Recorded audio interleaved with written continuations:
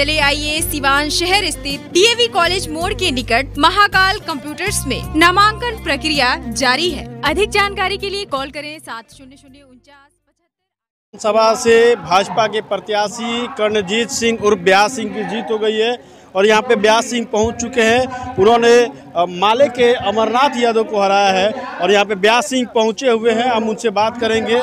विकास दर वाला देखबे कनी वाला इतना काम कनी आठ महीना में। इधर वाला देखते बनी सीवान जिला में कितना विकास हो मेडिकल कॉलेज तक ले आ गइल बा। हई सीवान अस्पताल के सौ बेड के एम सी एच भी लिया के बाद से देख ली सीवान में का विकास के वोट मिलल हा किसको किसको श्रेय देना चाहेंगे? किसको श्रेय देना चाहेंगे जीत की? दरौदा की सम्मानित जनता की जीत है ये। चलिए तो ये कर्णजीत सिंह उर्फ़ ब्यास सिंह है जिन्होंने दरौंदा की सभी जनता को इस जीत की बधाई दी। सहयोगी अभिमन्यु के साथ सचिन कुमार बिहार न्यूज़ एक्सप्रेस सिवान।